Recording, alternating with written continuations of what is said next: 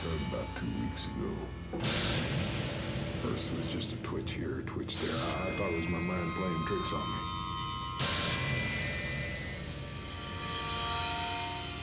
And then some of them got up and started coming.